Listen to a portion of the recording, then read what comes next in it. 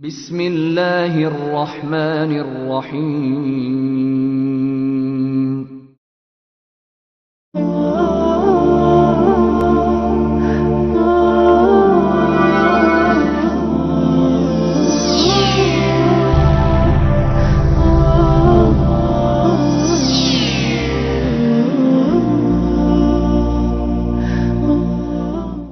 السلام عليكم ورحمة الله وبركاته.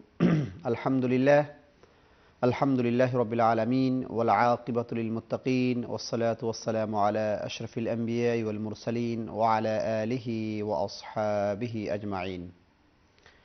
আলহামদুলিল্লাহ, লাকাল হামদু কুল্লুহু ওয়া লাকা শুর কুল্লুহু ইয়া রাব্বাল আলামিন। সম্মানিত ইকরা বাংলার দর্শক শ্রোতা, প্রিয় ভাই এবং বোনেরা, যে যেখান থেকে আমাদের সঙ্গে এই মুহূর্তে আমাদের সঙ্গে শরিক হয়েছেন অথবা পরবর্তীতে অনলাইনে ইউটিউবে সোশ্যাল মিডিয়াতে আমাদের সঙ্গে যোগদান করবেন। আপনাদেরকে জানাচ্ছি, ইসলামিক কিউএনএ উইথ ইকরার পক্ষ থেকে আন্তরিক মোবারকবাদ এবং শুভেচ্ছা। দর্শকবৃন্দ, প্রতি সোমবার নয়টা থেকে আপনাদের প্রিয় অনুষ্ঠান ইসলামিক কিউএনএ আপনারা দেখে থাকেন যে প্রোগ্রামটি আপনাদের জীবন ঘনিষ্ঠ ইসলামিক যে কোনো প্রশ্নের উত্তর দিয়ে থাকেন আমাদের অতিথি। আশা করব ইনশাআল্লাহ আজকে আপনারা আজকের প্রোগ্রামের শুরু থেকে শেষ পর্যন্ত আমাদের প্রোগ্রাম দেখবেন এবং আপনাদের জীবন ঘনিষ্ঠ যে কোনো প্রশ্ন আমাদের আলোচকের কাছে করবেন এবং ইনশাআল্লাহ দুনিয়া এবং আখেরাতের আমরা ফায়দা অর্জন করতে পারব। আমি দেরি না করে প্রথমেই আমাদের সম্মানিত আলোচক, বাংলাদেশের ঐতিহ্যবাহী শিক্ষা প্রতিষ্ঠান জামিতুল খাইরাল ইসলামিয়ার প্রতিষ্ঠাতা পরিচালক ইকরা বাংলা ইকরা উর্দুর সম্মানিত আলোচক হজরতুল্লাহ আল্লাহ হজরত মৌলানা মুফতি আব্দুল মুতাকিম হাফিজহুল্লাহ। আসসালামু আলাইকুম রহমতুল্লাহ ওয়ালাইকুম আসসালাম রহমতুল্লাহ ভালো আছেন? আলহামদুলিল্লাহ আলহামদুলিল্লাহ last one week Iqra Bangla programmes ইলফুডের programme এবং গতকালকে ছিলেন স্লাউ প্রোগ্রাম কন্টিনিউয়াসলি সিরা কনফারেন্সের প্রোগ্রাম করে যাচ্ছেন আলহামদুলিল্লাহ আল্লাহ রাবুল্লাহ আল্লাহ কবুল আল্লাহ কবুল করুন। এবং নেক হায়াত দান করুন। রিয়েলি অ্যামেজিং প্রোগ্রাম সুন্দর খুতবা বয়ান দর্শক শুনেছেন আপনাদের কাছ থেকে এবং আশা করি ইনশাআল্লাহ আজকে আপনাদের সৌভাগ্য, মুফতি সাহেব আবার চলে এসেছেন এবং আপনাদের জীবন ঘনিষ্ঠ প্রশ্ন করবেন। আল্লাহ রবুল্লাহ আলমিন আমাদের এই প্রোগ্রামকে যেন নাজাতের উসিলা করে দেন। সেই দোয়া রব্বে করিমের কাছে আমরা কাছে দোয়া করি। দর্শকবৃন্দ আপনারা কলের মাধ্যমে ট্যাক্সের মাধ্যমে, হোয়াটসঅ্যাপের মাধ্যমে যে কোনো আপনাদের প্রশ্ন করতে পারবেন। আমি সময় নষ্ট না করে আমি চলে যাচ্ছি আমাদের অতিথির কাছ থেকে। আমরা উইমেন রাইট যেহেতু এই মাস রবিউল আওয়াল মাস, যে মাসে মহানবী সাল্লাহ আলহি ওয়াসাল্লাম দুনিয়াতে এসেছেন, আগমন করেছেন, এর মাধ্যমে বিশ্বর মানবতার মুক্তিদূত সঈদুল সঈদুল মুরসালিন রহমতুল্লাহ আলামিন আজকে চোদ্দশো বছর আগে দুনিয়াতে এসেছিলেন, অন্ধকারাচ্ছন্ন জায়গায় মানুষকে সেই যুগে আলো দিয়েছিলেন। আজকে আমাদের যখন টেকনোলজি স্যাটেলাইটস মডার্নস ওয়ার্ল্ডে আমরা আছি, তখনও ইসলামকে আরও কীভাবে মানুষের কাছে পৌঁছে দেওয়া যায়, আমাদের নিজের জীবনের মধ্যে যাতে রসুল্লাহ সাল্লাহ আল ইসলামের জীবনের বিভিন্ন সাইড যাতে লাখগুলো আমরা নিয়ে আসতে পারি, তবে আমরা দুনিয়াতে হব সফল এবং আখেরাতে হব আলটিমেট সাকসেস চলে যাচ্ছে ইনশাআল্লাহ, জি হজরত তাআলা খায়রান, শুকরান জাযীলা। মাওলানা শেখ আলামিন সাহেব, হাফিজাকাল্লাহ তাআলা। আল্লাহ তাআলা আপনাকে উত্তম বদলা এবং জাযায় খায়ের দান করুন। অত্যন্ত সুন্দরভাবে আপনি প্রোগ্রাম উপস্থাপন করে থাকেন এবং বিভিন্ন ব্যস্ততা থাকা সত্ত্বেও মাশাআল্লাহ আমাদেরকে সময় দেন। এটা অনেক বড় ব্যাপার। আল্লাহ আমরা ইনশাআল্লাহ তাআলা প্রোগ্রামের দিকে যাব। আল্লাহ তাআলা যেন এই প্রোগ্রামকে বিশেষভাবে কবুল করেন মঞ্জুর করেন। আমিন রব্বাল আলমী প্রথমে আল্লাহ তালার তারিফ আল্লাহ তালার অসংখ্য গণিত প্রশংসা আলহামদুলিল্লাহ রব্বিল আলমিন ওসলাত ওসালাম আলা সৈয়দুল মুরসালিন خاتم النبيين إمام المرسلين نبينا وسيدنا وقدوتنا وإمامنا ومولانا محمد صلى الله تعالى عليه وعلى آله وأصحابه وبارك وسلم تسليما كثيرا كثيرا أما بعد قال الله سبحانه وتعالى وإذا بشر أحدهم بالأنثى ظل وجه وجهه مسودا وهو كظيم يتوارى من القوم من سوء ما بشر به আয়ুমসিকুহু আলা হুনিন আম ইয়াদুসুহু ফিত তুরাব আলা সাআ মা ইয়াহকুমুন সাদাকাল্লাহুল আযীম সম্মানিত দর্শক শ্রোতা আসসালামু আলাইকুম রহমতুল্লাহ ওবরাকাত ইসলামিক কিউএনএ উইথ ইকরা প্রোগ্রামে আপনাদেরকে আমিও শুভেচ্ছা এবং আন্তরিক মুবারকবাদ জ্ঞাপন করছি। আল্লাহ রবুল আলমিনের সমীপে বিশেষভাবে মোনাজাত করছি। আল্লাহ তালা যেন আমাদেরকে দিনের উপর পরিপূর্ণরূপে আমলের তৌফিক দান করেন এবং কমপ্লিট হেদায়ত অবলম্বন করে জীবন পরিচালনার তৌফিক দ্বারা যেন ধন্য করেন। প্রিয় নবী হজরত মোহাম্মদুর রসুল্লাহ সাল্লাহ আলহি ওসাল্লামের পবিত্র সিরাত সম্পর্কে বিভিন্ন দিক নিয়ে কিঞ্চিত আলোচনার মাত্র আমরা প্রয়াস পেয়ে আসছি। এর মধ্যে একটা গুরুত্বপূর্ণ দিক আজকে সামান্য আলোকপাত করার চেষ্টা করব। ওমা তৌফিক ইল্লা বিল্লাহ আলিহি তওয়াক্কাল তু ইলাইহি ইনশা আল্লাহ প্রথম কথা, যে আল্লাহ তাআলা প্রিয় নবী সাল্লাল্লাহু আলাইহি ওয়াসাল্লামকে রোল মডেল বানিয়েছেন, আদর্শ বানিয়েছেন, অনুসরণীয়, অনুকরণীয় দৃষ্টান্ত বানিয়েছেন। সমগ্র মানব জাতিকে বলে দিয়েছেন যে, আমি আল্লাহর ভালোবাসা যদি পেতে চাও আমি আল্লাহর মোহাব্বত দ্বারা যদি ধন্য হতে চাও, আমি আল্লাহর সন্তুষ্টি যদি তোমরা পেতে চাও সৃষ্টিকর্তার সন্তুষ্টি যদি তোমরা পেতে চাও, জীবনের লক্ষ্য এবং মানব সৃষ্টির লক্ষ্য এবং উদ্দেশ্যে যদি তোমরা সফল হতে চাও, তাহলে আমি আল্লাহর পক্ষ থেকে সুনির্ধারিত কথা, স্পষ্ট বক্তব্য যে আমার ভালোবাসা পেতে হলে, আমার মোহাব্বত পেতে হলে, আমার কাছে অনুমোদন পেতে হলে, জান্নাতি হতে হলে এবং আমি আল্লাহর সন্তুষ্টি অনুযায়ী জীবনযাপন করতে হলে একটা মাত্রই পদ যে আমি যে রোল মডেল হজরত মোহাম্মদুর রসুল্লাহ সাল্লাহ আলী সাল্লামকে দুনিয়াতে পাঠিয়েছি, সেই রোল মডেল অনুযায়ী তোমাদের জীবন পরিচালনা করতে হবে। এই একটা কথা যদি বুঝে আসে সারা দুনিয়ার মানুষের সুহান আল্লাহ জীবন পাল্টে যাবে। প্রথমে যদি মুসলমানদের বুঝে আসে, তাহলে আল্লাহ আকবার, সারা দুনিয়াতে ইসলাম প্রচারে আর কোনো বাধা বিপত্তি থাকবে না। মুসলমানদের দুর্দিন, মুসলমানদের সমস্যা, মুসলমানদের প্রবলেম আর থাকবে না। অত্যন্ত গুরুত্বপূর্ণ একটা কথা আমি বলছি। আল্লাহর নবী সাল্লাল্লাহু আলাইহি ওয়াসাল্লাম সম্পর্কে আল্লাহ তাআলা বলে দিয়েছেন, লাকাদ খান লাকুম ফি রাসূলিল্লাহি উসওয়াতুন হাসানা লিমান কানা ইয়ারজুল্লাহ ওয়াল ইয়াউমাল আখির ওয়া যে আল্লাহ তাআলা রোল মডেল রাসূলুল্লাহ সাল্লাল্লাহু আলাইহি বানিয়েছেন। যারা আল্লাহকে পেতে চায়, আল্লাহর সন্তুষ্টি লাভ করতে চায়, আল্লাহর কামনা, আল্লাহর ভালোবাসা যাদের অন্তরে আছে রাসুল্লাহ সাল আলী সাল্লামকে রোল মডেল এবং অনুসরণীয় পার্সোনালিটি মানতে হবে। তো সিরাতুল নবীর অসংখ্য অগণিত দিক যেভাবে আল্লাহ তালা বলে দিয়েছেন রোল মডেল একই সাথে দেখা যায় যে জীবনের প্রত্যেকটা দিক কোনো মহান ব্যক্তিত্বের এইভাবে সংরক্ষিত হয়নি যেভাবে মোহাম্মদুর রসুল্লাহ সাল আলী সাল্লামের জীবনের প্রত্যেকটা দিককে আল্লাহ তালা সংরক্ষণ করেছেন। প্রত্যেকটা আদর্শ, প্রত্যেকটা সুন্নতকে আল্লাহ তালা হেফাজত করেছেন। আমি নিজেকে মনে হয় এত বেশি চিনি না, তার চেয়েও যেন মনে হয় বেশি চিনি মোহাম্মদুর রসুল্লাহ সাল্লাহ আলহিসাল্লামকে আমার নিজের সম্পর্কে মনে হয় এতটুকু জানা নেই, তার চেয়েও বেশি জানা মোহাম্মদ সাল্লাহ আলহিসাল্লাম সম্পর্কে। আল্লাহ আকবর।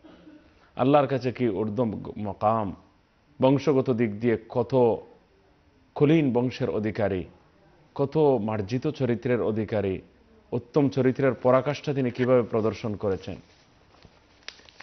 নারীদের অধিকার, এই বিষয়ে সিরাতুল নবী থেকে কি আলো আমরা পাই?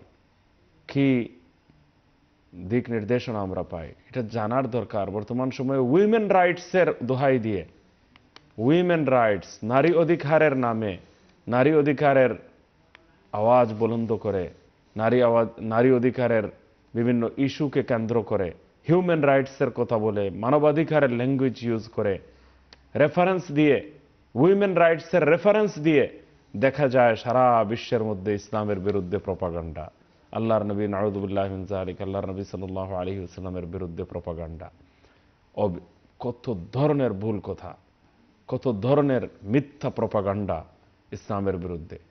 আশ্চর্যের ব্যাপার যে পশ্চিমা বিশ্বের মধ্যে ইসলামের বিরুদ্ধে প্রপাগান্ডা করার জন্য, মিথ্যাচারের জন্য মিডিয়া ট্রায়ালের জন্য ব্ল্যাকমেইলিংয়ের জন্য এবং লোকজনকে ভুল বুঝাবুঝির শিকারে পরিণত করার জন্য, যে পশ্চিমা বিশ্বে ইসলামের নারী সংক্রান্ত সবগুলো বিধানকে পুঁজি করে মানুষ অপপ্রচারের বৃত্তি অনুসন্ধান করে, সেই ইউরোপের মধ্যে, সেই পশ্চিমা বিশ্বের মধ্যে যত সব অমুসলিম মুসলমান হচ্ছে, তাদের মধ্যে কিন্তু পুরুষের চেয়ে মহিলাদের সংখ্যা বেশি।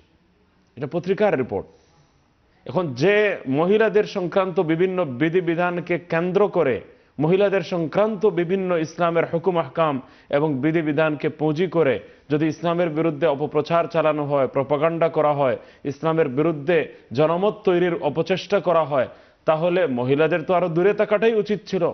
কিন্তু আশ্চর্যের ব্যাপার- যে মহিলাদের সংক্রান্ত ইসলামের বিভিন্ন বিধিবিধানকে পুঁজি করে ইসলামের বিরুদ্ধে যেখানে অপপ্রচার বেশি চালানো হচ্ছে, সেখানে নতুন মুসলমান যারা হচ্ছে, তাদের মধ্যে মহিলাদের সংখ্যা পশ্চিমা বিশ্বে বেশি হওয়া, এটা আশ্চর্য ছাড়া আর কি হতে পারে? স্বয়ং পশ্চিমা বিশ্বের মহিলারা এই কথাটা, যারা ন মুসলিম হয়েছে, তারা এই কথাটা বলছে যে, না, আমরা পর্দার মধ্যে এসে শান্তি খুঁজে পাচ্ছি কমফোর্টেবল ফিল করছি। আমরা আশ্বস্তি ফিল করছি, আমরা নিরাপত্তা বোধ করছি, আমরা ইজি ফিল করছি।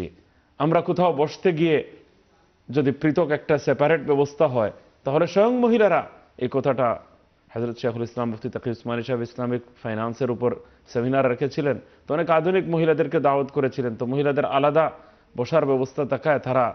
এর আগে ওইসব মহিলারা ছিল যারা জীবনের সেপারেশনের ভিতরে, মধ্যে বসতে অভ্যস্ত ছিল না। তো তারা বলল যে, না, আমরা একটু স্বাধীনভাবে বসতে পেরেছি। একটু শুয়ে শুয়ে কোনো সময় শুনতে পেরেছি। কোনো সময় আমরা পাটা একটু লম্বা করে, একটু ইজি ফিল করে আমরা কোথাও শুনতে পেরেছি। তো আমাদের মধ্যে কোনো হেজিটেশন ছিল না। আমাদের মধ্যে আনকমফোর্টেবল সিচুয়েশন ছিল না। আমাদের মধ্যে কষ্টকর কোনো অবস্থা ছিল না। আমরা অস্বস্তি বোধ করিনি এবং আমরা একটা শান্তি, নিরাপত্তা এবং সুন্দর পরিবেশ আমরা ফিল করেছি। যাদের মধ্যে এই ফিতরাতে সালিমা রয়েছে ফিতরতে সালিমা বলা হয় সুন্দর প্রকৃতি, সুন্দর স্বভাব। যারা তাদের আসল স্বভাবকে, আসল ফিতরতকে, প্রকৃতিকে, নেচারকে যারা নষ্ট করে ফেলেনি, তারা এই কথাটা বলতে, বুঝতে বাধ্য হবে। সুহান আল্লাহ দেখেন, জাহিলিয়তের যুগে আল্লাহর নবী সাল্লাহ আলী ইসলামের দুনিয়াতে আসার আগে বা পরপর নবী হওয়ার আগে মহিলাদের অবস্থা কি ছিল? আল্লাহ তারা কোরআনে করিমের মধ্যে বলা- বলেছেন পরিষ্কার বাসায় সুরা আরাফে সম্ভবত। যে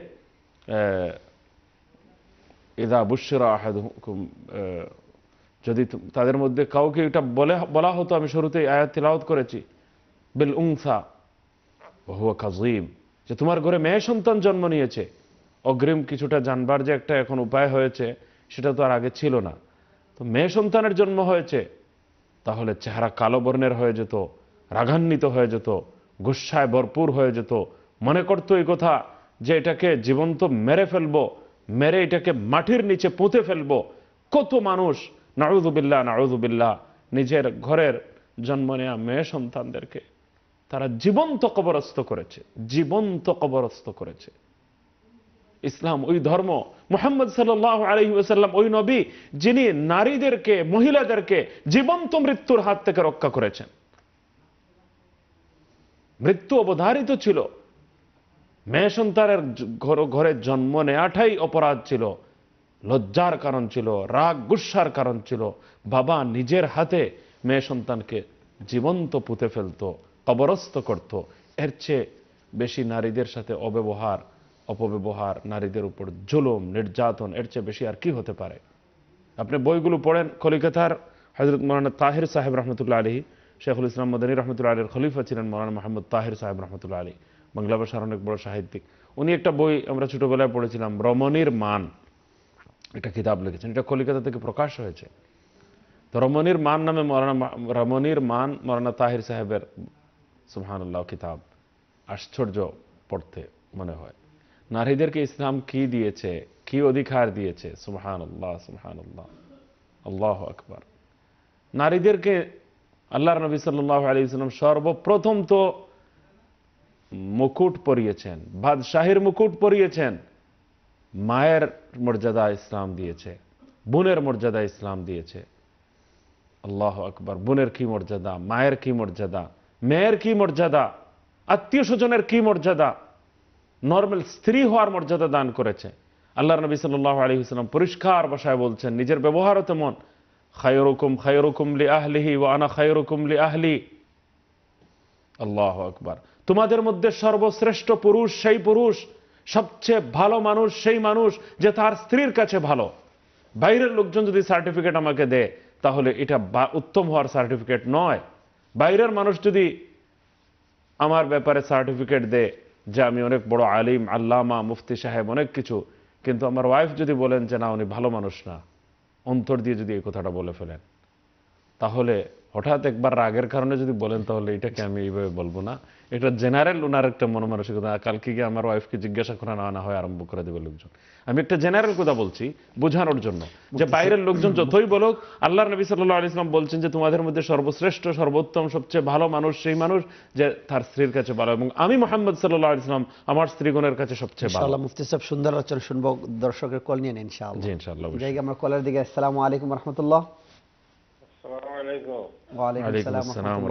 দর্শক ভালো আছেন? জি ভালো আছি। ভালো আছেন? আলহামদুলিল্লাহ আলহামদুলিল্লাহ, প্লিজ আল্লাহ দয়া করে শুকরিয়া। আপনার আপনার- প্রশ্নটি করুন একটা কথা জিজ্ঞাইতাম ছিল যে আমরা ঈদে মিলাদুন নবী গেল। জি। নিউজ নিউজে দেখলাম বিভিন্ন দেশ এবং বিশেষ করে আমরার দেশ বা অন্যান্য আরও দেশ। এরপরে দুবাই ওই যে নাচে রসুল বা বা- বা রসুল্লাহ শানো গান কবিতা এগুলা ওই যে থাব্বা না কিতাব আজাইলা এটা ঠিক আছে নি? তবলা। বা না, জিয়ল্লা খান একটা ডফকিল্লা খান একটা এটা ঠিক আছে। জি জি। আর ওই যে আমরা দেশ ধরো যে যে, মিছিল মিছিল পতাকা লইয়া যে মিছিল দিলা রসুলের পরে সাহাবা হল তাবেইন তবে তাবেইন বা এর বাদে আর ইটা- ইটা ইবাদতির নামে তো এটা কিলান লাগে, এটা ইসলামের দৃষ্টিতে ঠিক আছে যদি ঠিক থাকে না।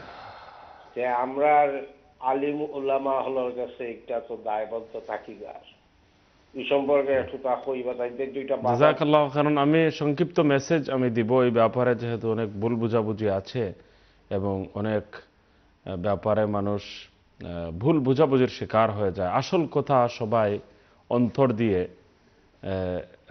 ভালো করে বুঝবার চেষ্টা করে না।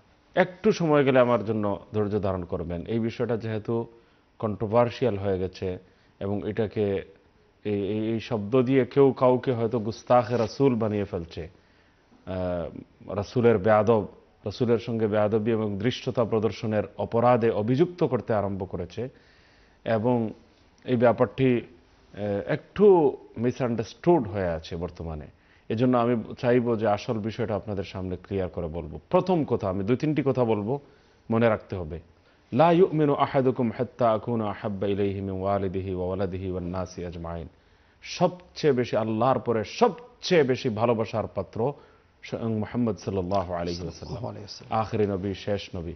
আমাদের হৃদয়ের স্পন্দন আমাদের ভালোবাসার কেন্দ্রবিন্দু আমাদের মোহাব্বতের আবেগ আমাদের ভালোবাসার প্রতীক আমাদের জানের চেয়ে প্রাণের চেয়ে বেশি ভালোবাসার সম্পদ যদি কোনো কিছু থাকে কলিজার টুকরো যদি কিছু হয় তাহলে তিনি হলেন মোহাম্মদুর রসুল্লাহ সাল্লাহ আলী সাল্লাম পরিষ্কার ভাষায় নবীজি সাল্লাহ আলী সাল্লাম বলে দিয়েছেন নিজের মা বাবা সন্তান সন্ততি আত্মীয় স্বজন স্ত্রী সন্তানাদি পরিবার পরিজন এমনকি নিজের প্রাণের চেয়েও বেশি যদি ভালোবাসা মোহাম্মদুর রসুল্লাহ সাল্লাহ আলী সাল্লামের সাথে যদি কারও না হয় সে প্রকৃত অর্থে মুমিন হতে পারে না। সে কখনো মুমিন হতে পারে না। অর্থাৎ পরিপূর্ণ মুমিন হতে পারে না যদি তার সবচেয়ে বেশি ভালোবাসার কেন্দ্রবিন্দু মোহাম্মদুর রসুল্লাহ সাল্লাহ আলী সাল্লাম না হয়ে থাকেন। আল্লাহ আকবার। আজকে এই গুনাহগার মানুষ হতে পারে অনেক ভুল ত্রুটি হতে পারে আমরা অনেক আল্লাহ থেকে দূরে সরে গেছি নবীজির আদর্শ থেকে হয়তো আমরা অনেক দূরে সরে গেছি। কিন্তু এরপরেও আমি যে কথাটি বলব সেটা হলো যে এখনও পর্যন্ত মানুষের মধ্যে ভালোবাসার একটা আবেগ পাওয়া যায়। গুনাহগার মানুষ হতে পারে, নবী- নবীর বিরুদ্ধে কথা বললে প্রাণ বিসর্জন দিয়ে দেবে। এই ধরনের ভালোবাসা হওয়া জরুরি। দ্বিতীয় হলো অনুসরণ, অনুকরণ করতে হবে। নবীজির রেখে যাওয়া সুন্নতের উপর আমল করতে হবে। নবীজির রেখে যাওয়া যে মূলনীতি, সেই মূলনীতি থেকে বিচ্যুত হলে চলবে না। বকালাতিল ইহুদ উজাইর ইবনুল্লাহ ইহুদিরা তো ভালোবাসার কারণে হজরত উজাইর আলী ইসলামকে আল্লাহর ছেলে বলে ফেলেছে। ঈসাই যারা, তারা কোরআন বলছে ওকালাতিন নাসারা ঈসা মসিহ ইবনুল্লাহ যে হজরত ঈসা আলাইহিস ইসলাম আল্লাহর ছেলে এটা তো অধিক ভালোবাসার কারণে বলে ফেলেছে তো গন্ডির বাইরে গেলে হবে না যে নবী যে নীতি নিয়ে এসেছেন যে প্রিন্সিপল নিয়ে এসেছেন যে আকিদা নিয়ে এসেছেন যে মূলনীতি আমাদেরকে উপহার দিয়েছেন যে শিক্ষা আমাদের জন্য রেখে গিয়েছেন সেই শিক্ষার দ্বারা যে মূলনীতি আমাদের সামনে সুস্পষ্ট হয় এই মূলনীতি থেকে দূরে সরে গিয়ে ভালোবাসার কোনো বহিঃপ্রকাশ সেটাও ঠিক হবে না দ্বিতীয় কথা যে দ্বিতীয় কথা হলো যে আল্লাহর নবী হজরত ওলামায় কারাম স্পষ্ট ভাষায় বলেছেন, এই বিষয়টি এত ছোট নয়। সবাই মিলে একত্রিত হয়ে মিছিল বের করা। আবার মিছিলের মধ্যে দুর্গাপূজা ইত্যাদির মতো অন্যান্য ধর্মাবলম্বীদের মতো রওদা শরীফের সাবি যেভাবে দুর্গাপূজার সামনে মূর্তি রাখা হয়, এখন রওদা শরীফের সাবি এবং প্রতিকৃতি সামনে রাখা হচ্ছে। কোত্থেকে কোথায় চলে গেছে বিষয়টা? তো প্রথম কথা হলো যে আল্লাহ নবী সাল্লাহ ইসলাম এই দুনিয়াতে এসেছেন, এর জন্য সাহাবায় কারাম খুশি করেছেন, আনন্দ প্রকাশ করেছেন এবং আল্লাহ তারা বলে দিয়েছেন ফালিয়াফ রাহু তোমরাও খুশি পালন করো। তাহলে এই খুশিটা হলো জেনারেল খুশি, এটা হলো আল্লাহর নবীর দেয়া পদ্ধতি অনুযায়ী এই খুশিটা হতে হবে। এখন পদ, সারা জীবনে তেইশ বছরের নবুয়তি জীবন, মক্কা শরীফে তেরো বছর, মদিনা শরীফে এসে দশ বছর। তো দীর্ঘ তেইশ বছরের মধ্যেও গঠা করে, নিয়মতান্ত্রিকভাবে নিয়মানুবর্তিতা পালন করে প্রপারলি প্রতি বছর ডে পালন করার, দিবস পালনের প্রথাকে আল্লাহ নবী সাল্লাহ ইসলাম প্রমোট করেননি একবারও। আচ্ছা ওই সময় করলেন না, নিজে নিজেরটা করেননি। হজরত আবু বকর আনহু, খোলাফায় রাশিদিন, দীর্ঘ ত্রিশ বছর পর্যন্ত, ত্রিশ বছর পর্যন্ত খোলাফায় রাশিদিনের সময়ে ত্রিশ বছর একাধারে অতিবাহিত হয়ে গেল। একজন খলিফায় রাশিদ, তাদের ভালোবাসার মধ্যে কি কোনো কমতি ছিল? একবারও গোটা করে দিবস পালনের প্রথাকে তারা স্থায়ীভাবে নিয়মানুবর্তিত নিয়ম- নিয়মিতভাবে পালন করার এটাকে রেওয়াজ দেননি। এটাকে প্রথা হিসাবে পালন করেননি। ওলামায় কারাম সুস্পষ্ট ভাষায় বলেছেন, আল্লাহর নবীর ভালোবাসা বারো মাস থাকতে হবে, সারা জীবন থাকতে হবে। সাহাবাই কারামের জীবনের প্রত্যেকটা বছর, বছরের পুরো জীবনের প্রত্যেকটা বছর, বছরের প্রতিটি মাস, মাসের প্রতিটি সপ্তাহ, সপ্তাহের প্রতিটি দিন আল্লাহর নবীর সুন্নত নিয়ে জীবন্ত আলোচনা নিয়ে আমরা আমাদের জীবন কাটাবো।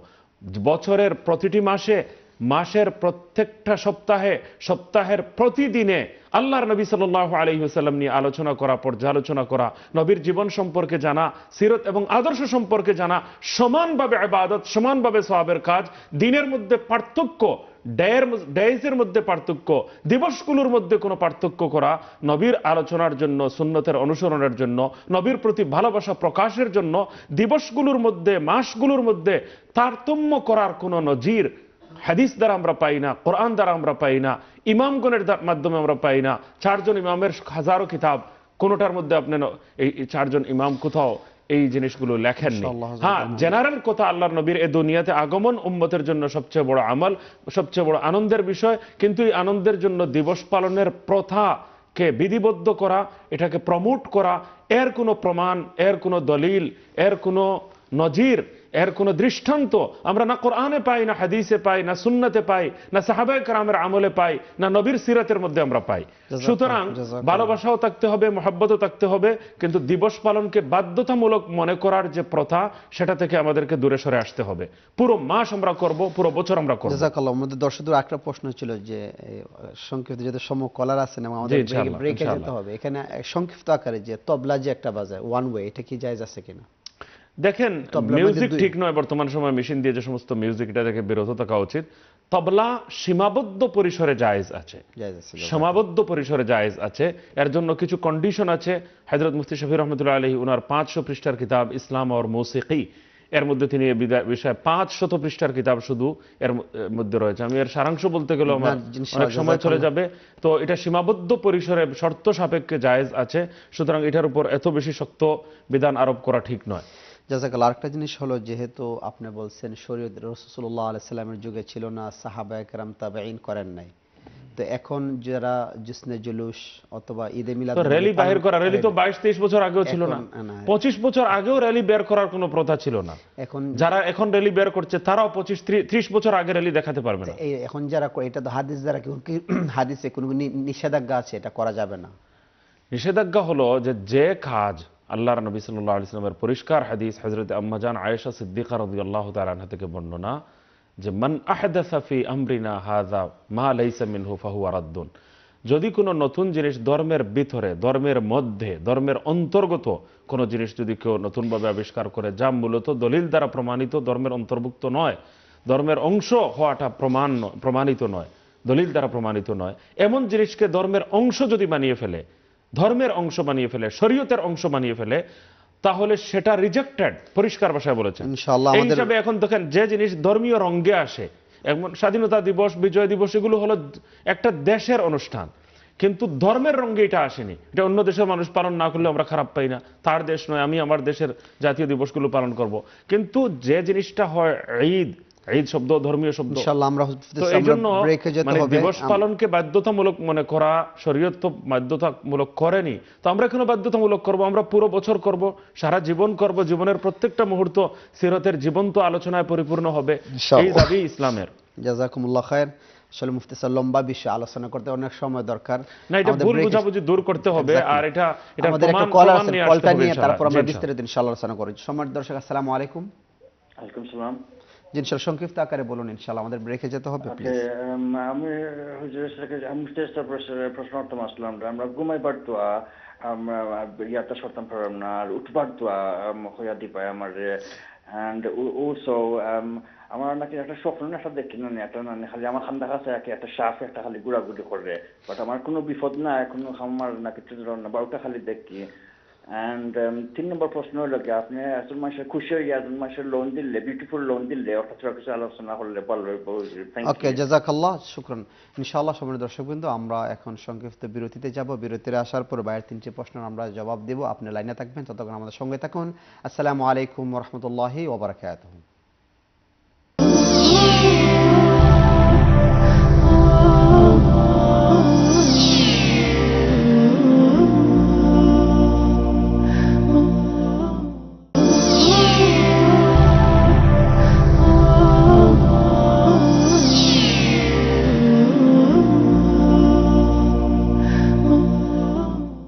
আসসালামু আলাইকুম ওরহমতুল্লাহি ওবরাকাতু সম্মানিত ইকরা বাংলার দর্শক শ্রোতা, প্রিয় ভাই বোনের যে যেখান থেকে আমাদের সঙ্গে যোগদান করেছেন এই মুহূর্তে জানাচ্ছি আন্তরিক মোবারকবাদ। আপনারা দেখছেন আপনাদের প্রিয় অনুষ্ঠান ইসলামিক কিউনিউথ ইকরা এবং আমাদের সঙ্গে আলোচ- আলোচক হিসেবে আছেন আপনাদের পরিচিত সবার ইকরা বাংলা, ইকরা উর্দুর সম্মানিত আলোচক, বিশিষ্ট আলমদিন মুফতি আব্দুল মুন্তাকিম হাফিজাহুল্লাহ। জি হজরত। আপনার তো ইনশাআল্লাহ আমার গ্রিটিং হয়ে গেছে। আমি সরাসরি চলে যাই আমাদের ব্রেকে যাওয়ার আগে একবার ফোন করেছিলেন ওনার তিনটি প্রশ্ন। নাম্বার ওয়ান প্রশ্ন গুমে গুমের মানে গুমের পূর্বে এবং ঘুম থেকে ওঠার দোয়া। দুই নম্বর প্রশ্ন হলো আগে এটা শেষ করে তো ঘুমানোর আগে তো আপনারা ফেমাস দোয়া এটা সবাই জানেন আল্লাহুম্মা বিসমিকা আমুতু ওয়া আহইয়া। এটা আমরা পড়ব। আর ডিফারেন্ট ওয়ার্ডও আছে হাদিসের মধ্যে। তো আমি যে একটাই বলছি আল্লাহুম্মা বিসমিকা আমুতু হে আল্লাহ আপনার নামে আমি ঘুম এটা একটা ছোট মরণ। প্রতিদিন আমরা একবার মৃত্যুবরণ করি ছোট মৃত্যুবরণ। একটু দূরবর্তী সম্পর্ক রুহের আমাদের সাথে থাকে কিন্তু রোহ বেরিয়ে যায় অনেক জায়গা ঘুরে আসে। তো আপনার নামে আমি মরণ মৃত্যুবরণ করছি আর আপনার নামেই আমি আবার আমি জাগ্রত হব আবার জীবন লাভ করব। তো আল্লাহ তালা এই দোয়া পড়ে যেন এরপরে ঘুমানোর আগে আরও শুধু এই দোয়াই নয়, ঘুমানোর আগে বিছানা পরিষ্কার করা একবার, ঝাড়ু দেয়া পরিষ্কার করা, এরপরে ডান কাত হয়ে ঘুমানো, এটাও সুন্নাত, দোয়া পড়াও সুন্নাত, এরপরে কুল হু আল্লাহ কুল আউজুব রব্বিল ফালাক, কুল আউজুব রব্বিন নাস, এই তিন সুরা একসঙ্গে পড়ে নিজের হাতে ফু দিয়ে চেহারার মধ্যে মাসাহ করবেন, মাথায় মাসাহ করবেন, বডিতে মাসাহ করবেন, এরকম তিনবার করবেন। আয়াতুল কুরসি, আল্লাহ লা ইলাহা ইল্লাহু আল হাইয়ুল কাইয়ুম, লা তাখুযুহু সিনাতুন ওয়ালা এটাও পড়ে নিজের হাতে ফু দিয়ে ঘুম চেহারার মধ্যে মাসাহ করবেন, মুছবেন, মাথায় মুছবেন, ডান হাত, বাম হাত, বডিতে যেখানে যেখানে হাত পৌঁছায় যত দূর। এই আয়াতুল কুরসি এবং তিন কুল অন্তত, আর ভালো হবে যদি চার কুল কুল ইয়াইহল কাফিরুন সহ পড়েন। এই আমলগুলো করবেন। আল্লাহম্মা বিসমিকা আমুত আহিয়া পড়বেন। আর ঘুম থেকে ওঠার পর ডান কাত হয়ে ঘুমাবেন, অজু অবস্থায় ঘুমানো, এই সবগুলো সুন্নাত। আর ঘুম থেকে ওঠার পর আপনি আলহামদুলিল্লাহ আহিয়ানা বাদামা আমাতানা ওয়া আলহামদুলিল্লাহ আহিয়ানা বাদামা আমাতানা ওয়া ইলাইহিন ওই আল্লাহর সকল প্রশংসা, সকল স্তুতি, সকল তারিফ প্রেজ যে আল্লাহ একবার মৃত্যুর পর আবার আমাকে নতুন জীবন দান করলেন। আহিয়ানা বায়দামা আমাতানা ওই ইলাইহিন নুশুর আবার আমরা সবাই তার দিকেই প্রত্যাবর্তন আমাদেরকে করতে হবে। ওই আল্লাহর দিকে আমাদেরকে প্রত্যাবর্তন করতে হবে।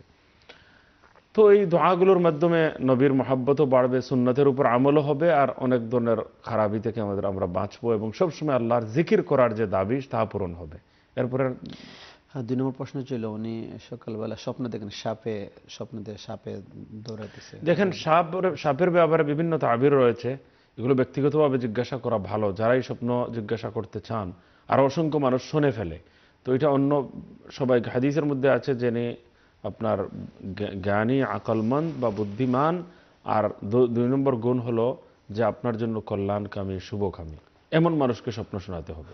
তো স্বপ্ন আপনি সবাইকে শোনাবেন না এই জন্য ব্যক্তিগতভাবে শোনাবেন। দুশ্মন থাকতে পারে এই দুশ্মন ক্ষতি পৌঁছাতে পারবে না আপাতত যে দৃষ্টিভঙ্গি।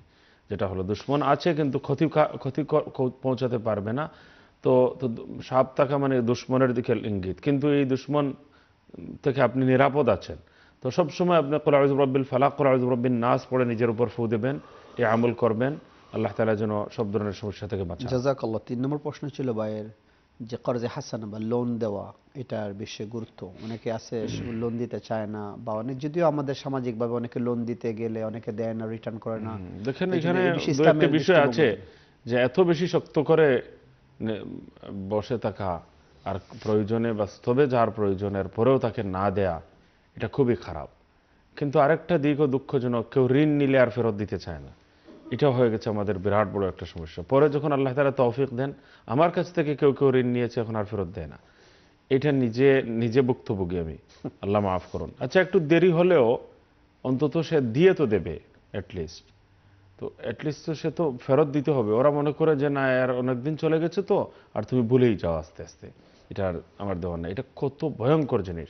কিন্তু এই কারণে অনেকে দিতে চায় না। এতেমাদ বা ভরসা নেই। তো এটাও একটা আমাদের বড় কারণ। তৌফিক যখন হয়, তো অ্যাটলিস্ট যতটুকু তৌফিক হয়, ততটুকু যদি ফিরিয়ে দেয়, তবুও তো একটা আশ্বস্তি, মানুষ আশ্বস্ত হবে, একটা বিশ্বাস জন্ম নেবে। কিন্তু এই বিশ্বাসটাও মানুষ হারিয়ে বসাতে, ফেলেছে। তো যদি কারও ব্যাপারে এই ধরনের অনাস্থা না থাকে, তার আচরণের কারণে, পূর্ব আচরণের কারণে যদি এমন প্রুফড হয়ে যায়, প্রমাণিত হয়ে যায় যে সে দেবে না, বা খুব বেশি জ্বালাতন করবে, কষ্ট দেবে তাহলে এমন মানুষের ব্যাপারে সতর্ক থাকতে কোনো আপত্তি নেই। শরীয়ত বল ইজাজত দেবে। কিন্তু যদি এমন কোনো প্রমাণ না পাওয়া যায় আর যে এসেছে সে যদি বাস্তবেই যদি মহতাজ হয় মুখাপেক্ষী হয় জরুরতমন্দ হয় তার দরকার হয় মুসিবতে পড়েছে অভাবে পড়েছে সমস্যায় পড়েছে তার নিড আছে নিডই হয় মানুষ তাহলে করজ দিলে সদকা থেকেও বেশি সবাব আল্লাহ তারা দান করবেন। সদকা থেকেও বেশি কারণ সদকা আপনি যাকে দিচ্ছেন সে এমার্জেন্সি নিডি নয়, হওয়া কোনো জরুরি নয়। মেবি এমার্জেন্সি নিডি হতেও পারে মেবি এমার্জেন্সি নিডি নাও হতে পারে। কিন্তু যে ঋণ চাচ্ছে সে আপনার কাছে, সে এমার্জেন্সি নিডি এই জন্য সাদাকা থেকেও বেশি সওয়াব আল্লাহ তারা দান করেন। তো এই জন্য আমি বলব যে, যাদেরকে আল্লাহ তারা সামর্থ্য দান করেছেন, তাদের ঋণের মাধ্যমে যেহেতু অসংখ্য মানুষের ফায়দা হয়ে যেতে পারে, আর যতদিন এই ঋণ থাকবে কন্টিনিউ আপনি সবাব পেতে পাবেন, পেতে থাকবেন। সাদাকার চেয়েও বেশি সওয়াব ফেরত পেয়েও যাবেন আবার আপনি যতদিন থাকবে আর আরেকজন এর দ্বারা উপকৃত হবে কন্টিনিউ আপনার আমল নামার মধ্যে সওয়াব লেখা থাকবে। সুবহানাল্লাহ তা আমি একবার একটু দেরিতে একজনের ফেরত দিয়েছিলাম। তো উনি বড় ভালো মানুষ ছিলেন তো উনি পরিষ্কার ভাষায় বলছেন যা আমার এটা তো আপনি আমার জন্য সরি কেন চাইবেন? আমার এত বেশি আর্জেন্ট কোনো নিড ছিল না এবং সাথে সাথে আপনি আমি সব আমার কিছুদিন বেশি পাওয়ার সুযোগ করে দিই জাজাকাল্লাহ আমরা চলে যাচ্ছি আমাদের পূর্বতে কলার দিকে ইনশাআল্লাহ। দেখি আমাদের সঙ্গে আছেন। আসসালামু আলাইকুম রহমতুল্লাহ বারাকাতুহু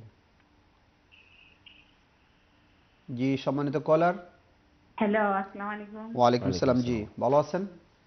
জি ভালো আছি। দয়া করে আমি আপনার একটা- প্রশ্নগুলো করুন ইনশাআল্লাহ। আমি হুজুর একটা ফোন নম্বর নিতে আমার সাউন্ড আর হুজুর আপনার কোনো প্রশ্ন আছে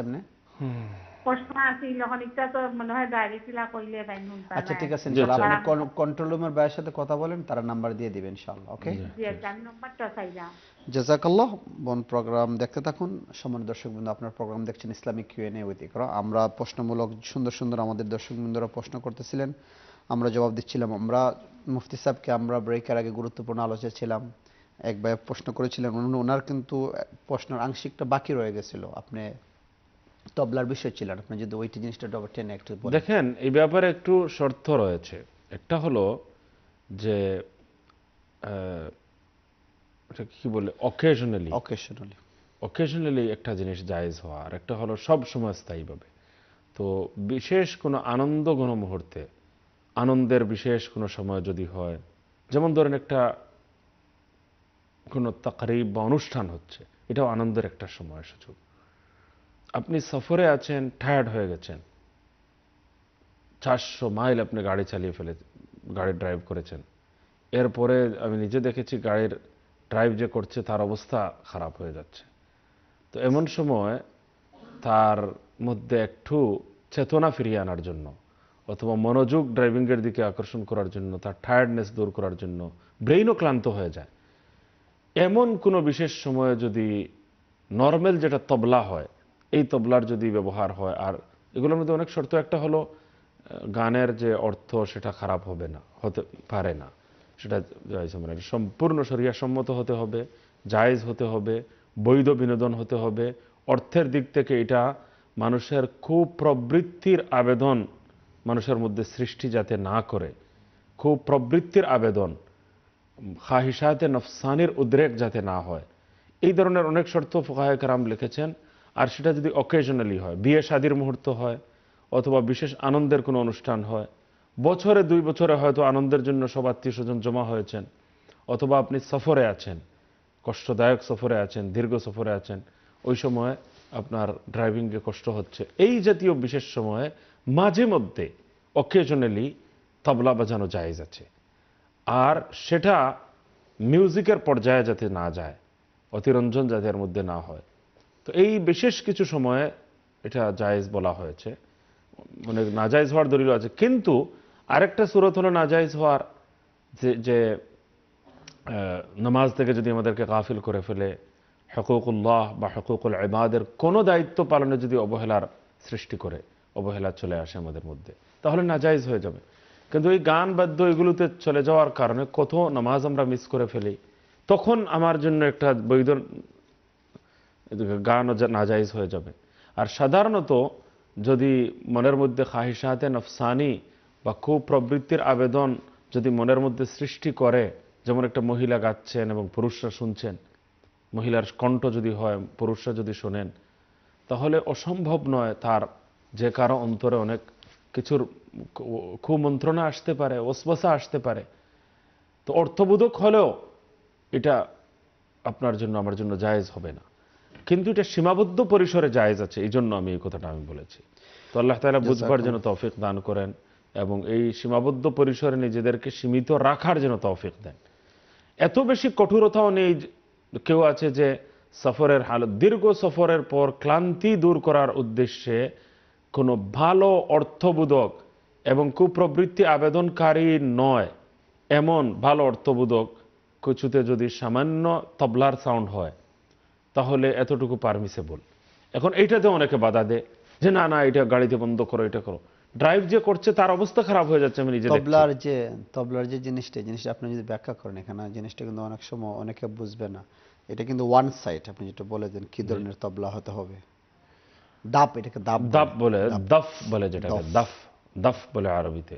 তো দফ বাজানো চামড়া দিয়ে বানানো একটা তবলা হয় এক সাইড হয় তো দফ বাজানো জায়েজ আছে। তো দফ বাজানো জায়েজ আছে বর্তমান সময়ে মিউজিকগুলোর মধ্যে অনেক কিছু আছে।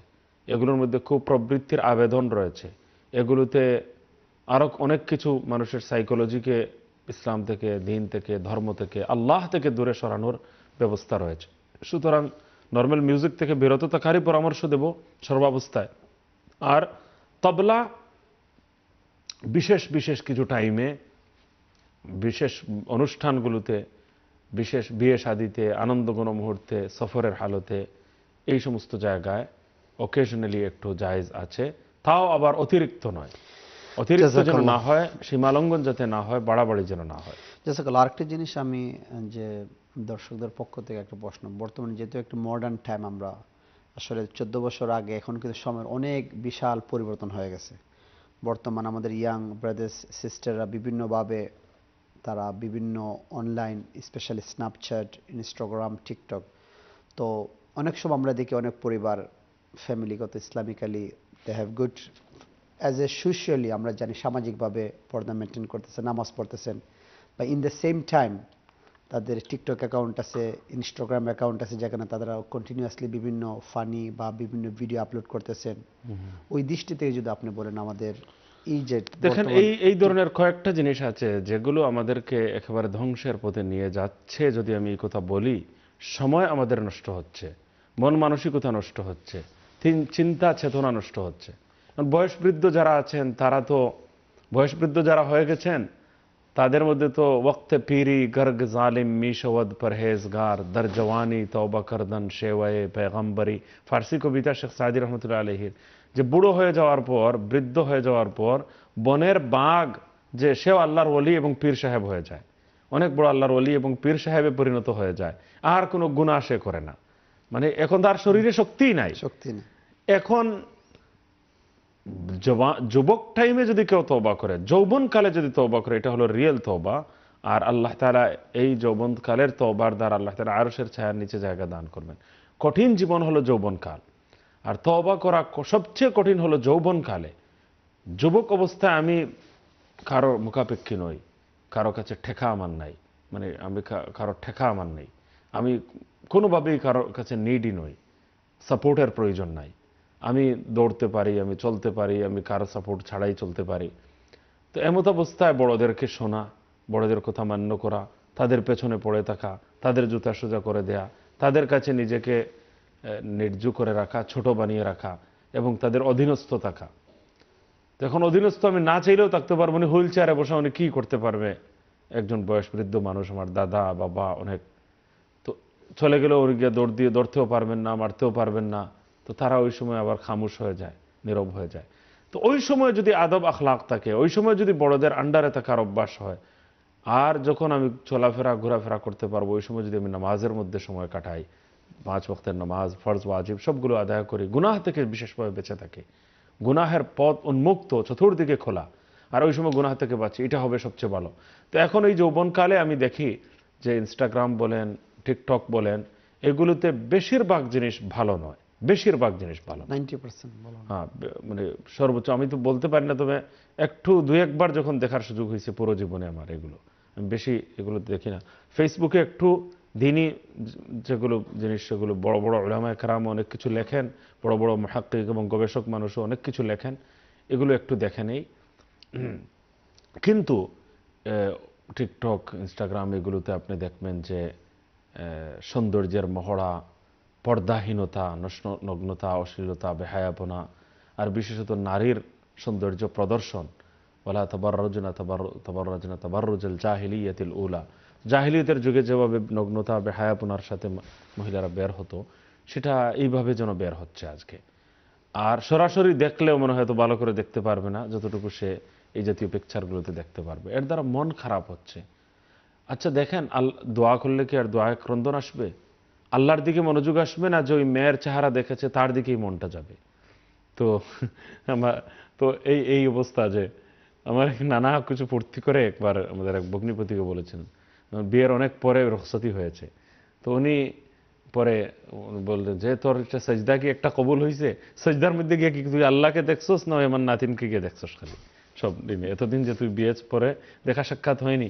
তো এটা মজা করে বলছেন কথাটা, কিন্তু যুবকদেরকে আপনি জিজ্ঞাসা করেন, তাদের ঘুমে, ধ্যানে, ধারণায় সব কিছুতে একটা নারী হলো আসল সবচেয়ে বড় জিনিস। এই স্বপ্নে সে বিভোর থাকে। আর বিয়ে করার পরেও যেহেতু এই গুনাহের চাহিদা মানুষের অন্তরে থেকে যায়, যারা বিয়ে করেনি এরা তো তাদের গুম, নিদ্রা হারাম। তাদের স্বপ্ন, তাদের ড্রিম, তাদের সব কিছু এই নারীদের ঘিরে, মেয়েদের ঘিরে। আল্লাহ আলী আজিম আমি রমাদান মাসে বাংলাদেশে দেখেছি একবার। আমি একটা দেখেছি যে রমাদান মাসে স্কুল খোলা ছিল। সব মেয়েরা বাড়ি থেকে বের হচ্ছে, দুপুরে ছিল স্কুলের টাইম ধরেন বারোটার সময় যাবে। রমদানের সকালবেলা ঘুমানোর সুযোগ দিয়ে তারা বারোটা থেকে স্কুল রেখেছিল।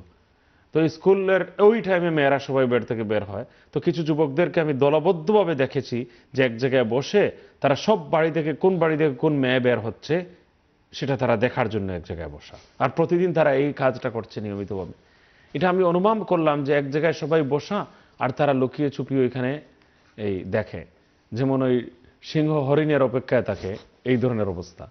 আসলে এই কথাটা আমি, এই জন্য আমি বলছি যে বর্তমান সময়ে ওই হাদিসের উপর আমাদেরকে আমল করতে হবে। ইস্তাফস্তিনাফসাক তুমি তোমার মনকে জিজ্ঞাসা করো। তোমার মনের কাছে ফতোয়া জিজ্ঞাসা করো। মন বলে দেবে কোনটা জায়েজ আর কোনটা জায়েজ নয়। এই মন মুফতি বড় মুফতি।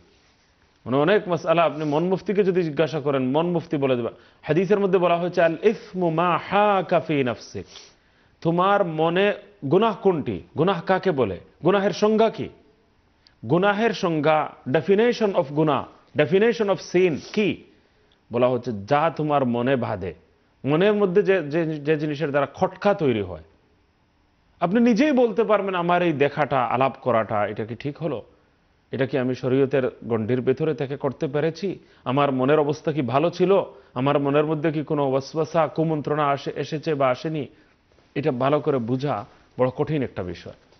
আল্লাহ রাব্বুল আলমিন আমাদের মধ্যে তাকওয়া যেন তৈরি করে দেন। আল্লাহর ভয় এবং মনকে পরিষ্কার রাখার যে মানসিকতা সেটা খুবই জরুরি।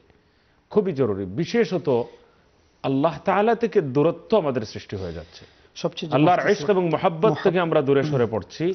এই জাতীয় জিনিসগুলোর কারণে পর্দাহীনতার কারণে সুখের গুনার কারণে। কিছু কল আছে কল নিয়ে ইনশাআল্লাহ। আমরা চলে যাই আমাদের পরবর্তী কলার দিকে ইনশাআল্লাহ। আসসালামু আলাইকুম রহমতুল্লাহ ওয়ালাইকুম আসসালাম রহমতুল্লাহ বারাকাতু জি হুজুর আমি দুইটা প্রশ্ন জিজ্ঞাসা মনে করি জি বলেন ইনশাআল্লাহ। যে আপনি তারা পর্দার কথা মাত্রা লাগে কি একটা জিজ্ঞাসা চাইছিলাম।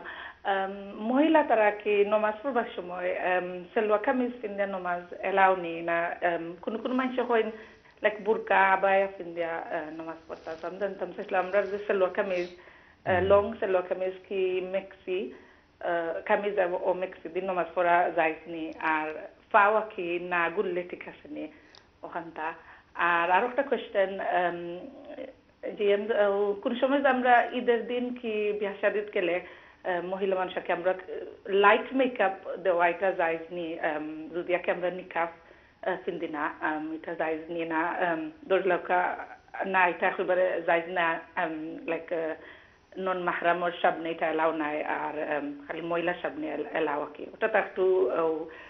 জি বুঝাই কইবানি যে লাইট মেকআপ ও ঈদের দিন কি বিয়া শাদিত গেলে এটা এলাও নি যারা নিকাপ পরেন না কি মহিলা তারা জাজাকাল্লাহ প্রোগ্রাম জি, দেখতে থাকুন ইনশাআল্লাহ। আসসালামু আলাইকুম। ওয়ালাইকুম সালাম।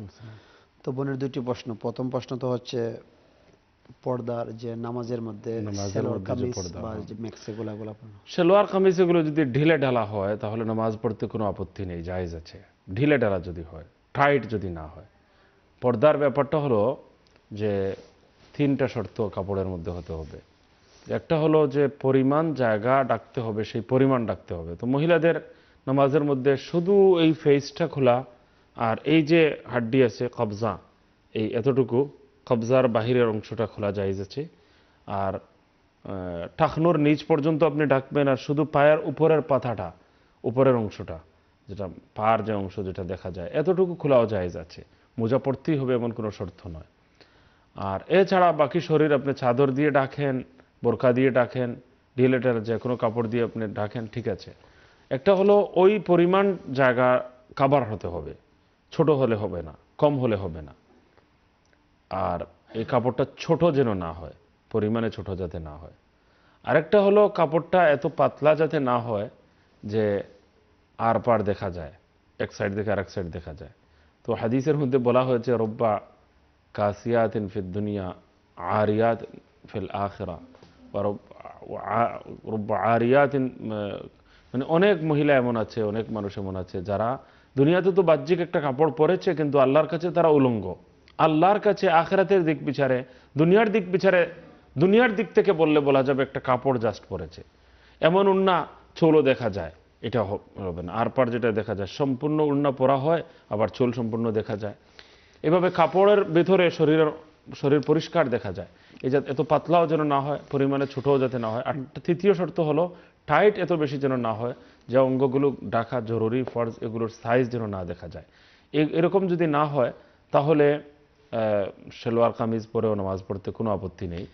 আর এই দোনো হাত এতটুকু পর্যন্ত আর দোনো পা একেবারে টাকনুর নিচ পর্যন্ত জাজাকাল্লাহ মুফতি সাহেব সময় দর্শক আপনি প্রোগ্রাম দেখতে থাকুন। আমাদের ব্রেকের সময় হয়ে গেছে। আমাদের একজন কলার আছে কলটা নিয়ে আমি ব্রেকে চলে যাব। ব্রেকে আসার পরে আপনার সেকেন্ড প্রশ্নের জবাব দিবেন মুফতি সাহেব। আমরা চলে যাচ্ছি আমাদের কলার দিকে। আসসালামু আলাইকুম। জি কলার আসসালামু আলাইকুম। ওয়ালাইকুম আসসালাম। জি ইনশাল্লাহ দয়া করে আপনার প্রশ্নটা করুন আমরা ব্রেকে আমার প্রশ্ন হইল যে যে মসজিদে যেমন জামে মসজিদ আছে জি। যেখানে ফাঞ্জিগানা নমাজ আপনার ঈদের নমাজ বা অন্য নমাজও জামাতে হয় যেমন জামে মসজিদ যেটা জি জামে মসজিদ। জি ওই মসজিদে যদি অন্য কেউ আবার জামাতে নমাজ পড়ে কি নমাজ হবে? হানিফি মজাব মতে আমি জানতে চাই। আপনি কি বলতেছেন রেগুলার জামাত না জুম্মার নামাজের কথা বলতেছেন? না যেমন অক্টর নমাজে জমাত হয়ে গেছে কিন্তু এ তারা আইসে আবার জমাত করে। কি আমাদের। হানিফি মজাব মতে এটা ঠিক আছে না নমাজ মকরু হবে? ইনশাআল্লাহ আমরা বিস্তারিত এই বিষয়ে আমরা ব্রেকের পর আলোচনা করব আপনি প্রোগ্রাম দেখতে থাকুন। জাজাকাল্লাহ সময় দর্শকবৃন্দ আলহামদুলিল্লাহ আমাদের দর্শকবৃন্দের কাছ থেকে চমৎকার এবং বেনিফিশিয়ারি প্রশ্নগুলো আমরা পাচ্ছিলাম। আমরা ব্রেকের সময় হয়ে গেছে ইনশাল্লাহ ব্রেকের পরে আপনাদের প্রশ্নের জবাব দেবেন আমাদের সময় আলোচক মুফতি আমরা চলে যাচ্ছি একটা সংক্ষিপ্ত ব্রেকে ততক্ষণ আমাদের সঙ্গে থাকুন আসসালামু আলাইকুম ওরহমতুল্লাহি ওবরাকাত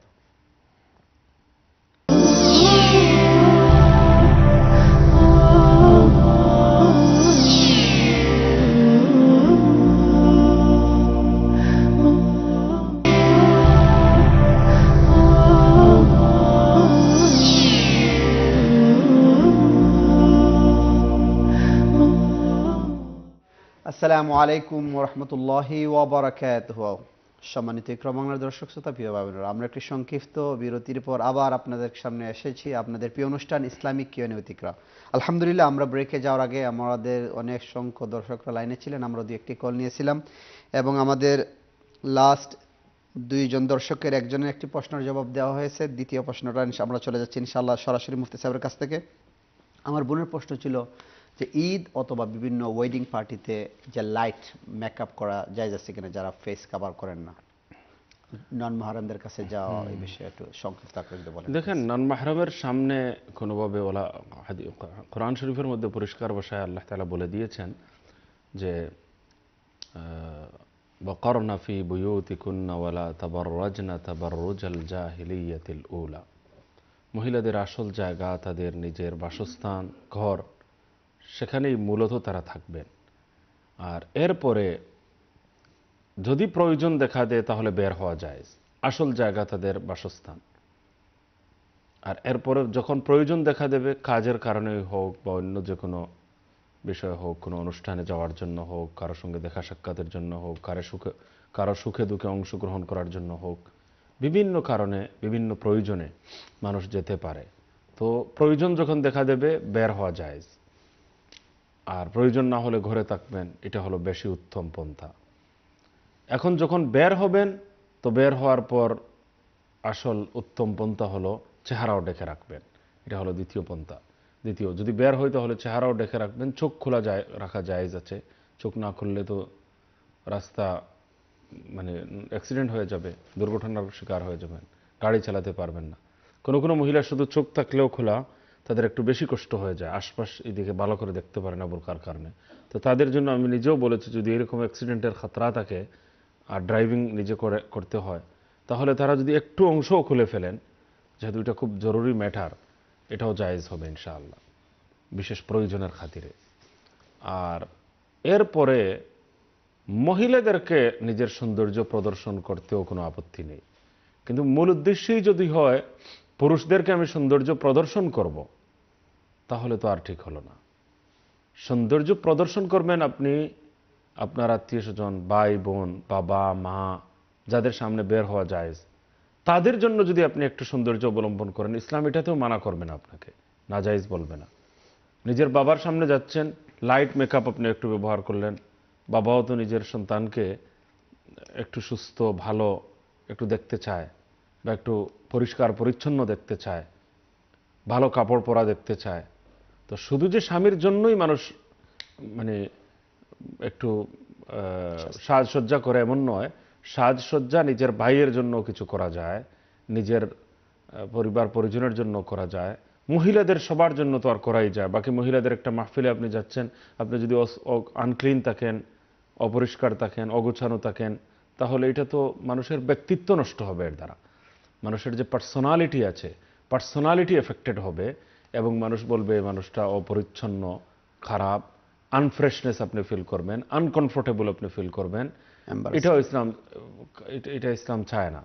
ইসলাম মানুষকে তার দেখেন শরীয়তের খোলাসা এবং সারাংশ হজরত থানুর রহমতুল্লাহ আলী এক জায়গায় লিখেছেন যে জরুরত যেটা রেহাইশ মানে একটা গড় দিয়ে উনি উদাহরণ দিচ্ছেন।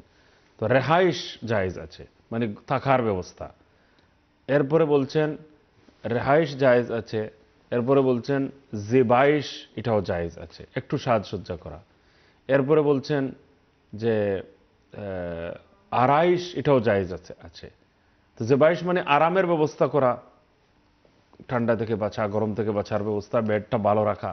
আর যে বাইশ মানে একটু বিউটি। আর শুধু আড়াইশ যেটা, অন্যের খুশ, অন্যের মনকে খুশি করার জন্য একটু সৌন্দর্য। আপনি ভালো সোফা কিনলেন, মেহমানরা আসবেন, দেখলেন, দেখার পর তাদের মনটা খুশি হয়ে যাবে। আমি পরিষ্কার পরিচ্ছন্ন রাখলাম, কিছু ফুল বানালাম, কিছু আরও দামি দামি জিনিস কিনলাম। উদ্দেশ্য লোকজনকে দেখানো, কিন্তু এই দেখানোটা হলো অন্যদের নিজের মন খুশি করা এবং অন্যদের মনও খুশি করা। এতটুকু যদি হয় তবুও জায়েজ। কিন্তু শুধু বলছেন নোমাইশ জায়েজ নয়। তো রেহাইশও জায়েজ, জেবাইশও জায়েজ, আড়াইশও জায়েজ, আর নোমাইশ জায়েজ নয়। তো নোমাইশ হলো শুধু লোক দেখানোর প্রবণতা। আমি ঘরে আনব, আনার পর দেখাবো তোমাদের কারও ঘরে এরকম সুন্দর সোফা সেট নাই, সুন্দর কার্পেট নাই, এত সুন্দর ফার্নিচার আর নাই কারও ঘরে। এই বড়ত্ব এবং অহংকার এবং লোক দেখানোর প্রবণতা রিয়াকারী যদি হয়, উদ্দেশ্য তখন হারাম, কবিরা গুণা এবং এগুলো জাহান্নামে যাওয়ার কারণ। হাদিসের মধ্যে বলা হয়েছে, যে মানুষ শোহরতের লেবাস পরবে। এই জন্য যে এই লেবাস দিয়ে আমি ফেমাস হব। শুধু ড্রেস পড়ছে এই জন্য যে ড্রেসের মাধ্যমে আমি ফেমাস হব। আল্লাহ তালা জাহান নামের লেবাস পরাবেন। এটা ভয়ঙ্কর জিনিস এটা থেকে বাঁচতে হবে। তো আপনারা মহিলাদেরকে দেখানোর জন্য অথবা মাহরাম যাদের যেসব পুরুষদের সামনে বের হওয়া জায়েজ তাদেরকে দেখানোর জন্য আপনারা লাইট মেকআপ করবেন অসুবিধা নেই। মা বাবা বা সকল মহিলাদেরকে দেখানোর জন্য আপনি লাইট মেকআপ করবেন নো প্রবলেম। কিন্তু পরপুরুষকে আকর্ষণ করার উদ্দেশ্যে যদি কেউ এগুলো করেন যাদের সামনে বের হওয়া জায়েজ নয় তাদেরকে আকর্ষণ নিজের মধ্যে তৈরি করার জন্য তাদের মধ্যে নিজের আকর্ষণ তৈরি করার জন্য যদি এই কাজটা করেন তাহলে এখানে এসে হারাম হয়ে যাবে বিষয়টি। জাজাকাল্লাহ ইনশাআল্লাহ। আমরা ইনশাআল্লাহ কল নিয়ে তারপর প্রশ্ন দিকে যাব ইনশাআল্লাহ। যাই আমরা চলে যাচ্ছি কলার দিকে। আসসালামু আলাইকুম রহমতুল্লাহ ওয়ালাইকুম সালাম। আসসালামু আলাইকুম। ওয়ালাইকুম আসসালাম। জি ইনশাআল্লাহ প্রশ্নটা বলুন প্লিজ আমি হুজুরের মাত্র সেইলাম বাথরুমও বাথরুম অজু করলে বিসমিল্লাহ আলিহিল আজিম তো আমরা পুরো ভালো শিখাইছেন আমরা হুজুর হলে দেশ। মানে অজুর দোয়া পড়া যায় না বাথরুমও আর বাথরুমও হামাইলে বা যেটা সময় যেটা কোনো এক বিপদ পড়ল দোকানলাম কোনো দোয়া পড়া যায় না বাথরুম আচ্ছা আর কোনো প্রশ্ন আছে? জি না আমি বাথরুমেরও ইনশাআল্লাহ আমরা বিস্তারিত আলোচনা করব। জাজাকাল্লাহ আপনার প্রোগ্রাম দেখতে থাকুন। জাজাকাল্লাহ মুফতি সাহেব, আপনি যে ওইটার সাথে জাস্ট ওইটা রিলেটেড একটা, আপনার আগের যে মেকআপের কথা, আমি তারপরে দুইটি জবাব দিতে হবে।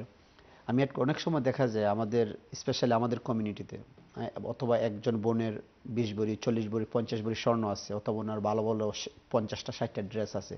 অনেক সময় আরেকজনের আছে ড্রেস নাই, তো আমরা এমন অনেক সময় দেখা যায় ফ্রেন্ডকে দাওয়াত দিতে চাই না এগুলা ব্যাখ্যা করতেছে আমার এটা আছে এটা আছে আমার এই জামা আছে। অনেক সময় দেখা যায় অন্য মানুষটা এটা হিউমিলেট হয় তার কাছে এটা আনকমফোর্টেবল হয়। কিন্তু বা আমরা কিন্তু অনেক সময় শো অফ করতে গিয়ে এই জিনিসটা আমরা রিয়ালাইজ করি না যে আমি যে বলতেছি এর দ্বারা আরেকজনের কষ্ট হইতেছে বা তার হাজব্যান্ডের এই ক্যাপাসিটি নাই।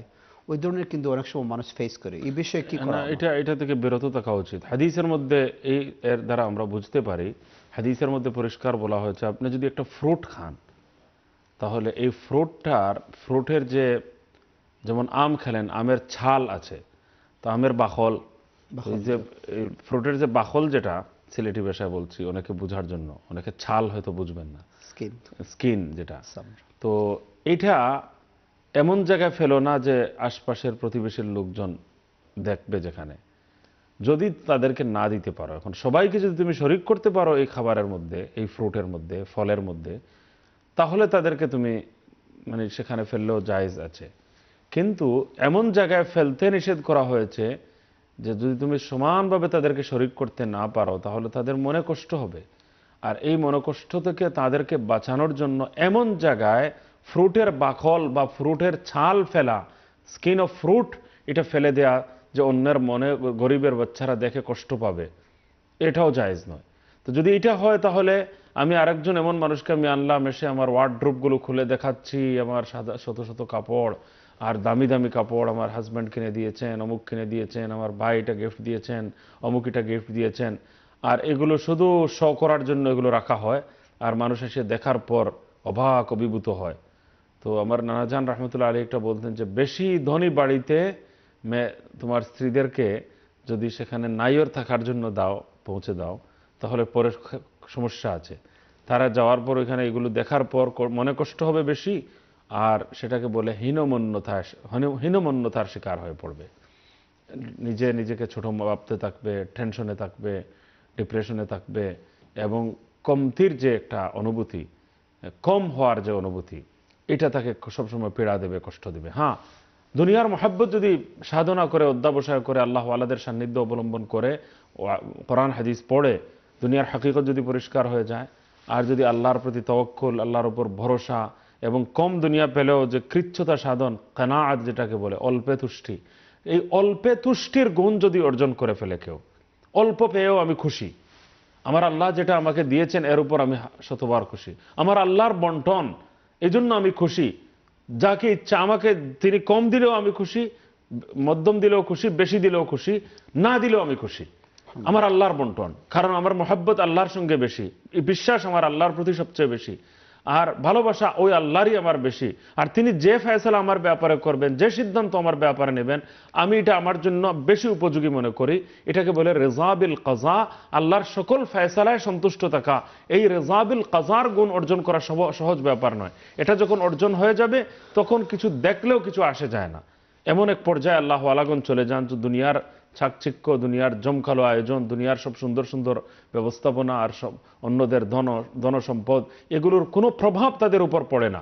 এই পর্যায়ে পৌঁছার আগে, পর্যন্ত যখন দুনিয়ার ভালোবাসা, দুনিয়ার প্রতি আসক্তি, দুনিয়ার মহব্বত এখনও বেশি, টাকার প্রতি লোভ, দুনিয়ার প্রতি লালসা বেশি, এমত অবস্থায় এই ভালো ভালো জায়গাগুলোতে যাওয়া থেকেও দূরে থাকা উচিত এবং কারও কাছে, কাউকে যদি আল্লাহ তাআলা দেন বেশি, তাহলে আপনার চেয়ে নিচের যারা দুনিয়ার দিক থেকে, দুনিয়াবি দিক থেকে, তাদেরকে দাওয়াত দিয়ে এনে এগুলো দেখিয়ে আর তাদের মনে কষ্ট দেওয়া থেকে সম্পূর্ণ বিরত থাকা জরুরি।